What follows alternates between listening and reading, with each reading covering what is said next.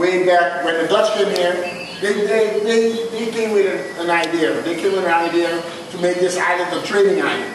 Trading. But they used to go to Europe, gather some cows, some milk, some sheep, some goats, and bring them here, and then sell them to the other islands. And then they were doing good. They were doing pretty well. Until the time comes, they start trading people.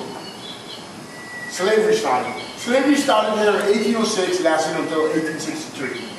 Now, slavery was very mild, very soft slavery on Aruba. We have a neighboring island, which is Curacao, and much, much more harder slavery, because the ships to come from Africa straight to Curacao. Okay? Now, here on the, on the island, slavery was very soft. We only had small, small, small, small, small plantations because the island was dry. So what happened? The, the, the to take care of all these little five, six slaves, black slaves. But most of them was in-house slaves, lady slaves. And what happened? The masters always take advantage of the lady slaves. And what happened? There comes the kids up, right? So now they brought Indians over from Venezuela. So we had Indians here, we had Dutch people here, and we had African ladies here. So what, what you think happened? They started to intermix with each other. And they formed me. here I come.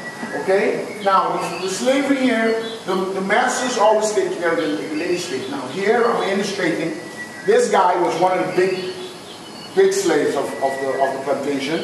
And he used to take care of everybody on the plantation. And he had a girlfriend, which is this lady, Mosa. And the, the master see that, and what he did, he sold Mosa to someone else. So he got so, so angry and so hard that he threw himself over the cliff and killed himself.